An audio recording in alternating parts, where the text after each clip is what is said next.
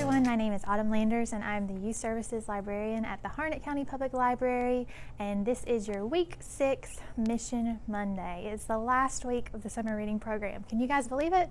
It has flown by really quick. So I wanted to tell you about the craft for the school age kids this week and then a little bit more about what's going on during our last week of summer and how we're going to tie it all together. So our school age craft this week is really simple. It's just a velvet coloring page. So these are random, so depending on what um, bag you got this summer, you're gonna get a different design, but this is just an example.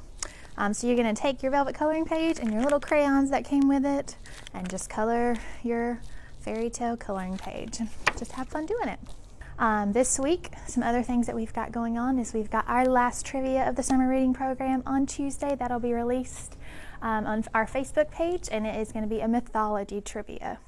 On Wednesday, our last family program of the summer is going to be our annual talent show. So it's going to be virtual this year, um, and today is actually your last day to get your submissions in. So please send them in to us um, through Facebook Messenger or through our email address.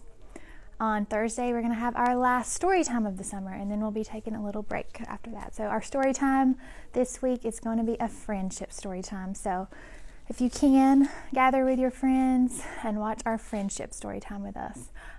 On Friday, we're going to have our last show and tell of the summer, and we just want to see a summer activity that you enjoyed. So, send a picture in on our Facebook post and get entered in to win a prize. Another thing I just wanted to tell you really quick is about reading logs. So, um, we have asked you to keep your reading logs until the very end of summer, and that time has come. So, after this week, we want you to gather up your reading logs, and beginning next week, we're going to start accepting them. And when you turn them in, you are going to get a prize bag. And for every reading log that you turn in, it will also act as an entry for our grand prize drawing.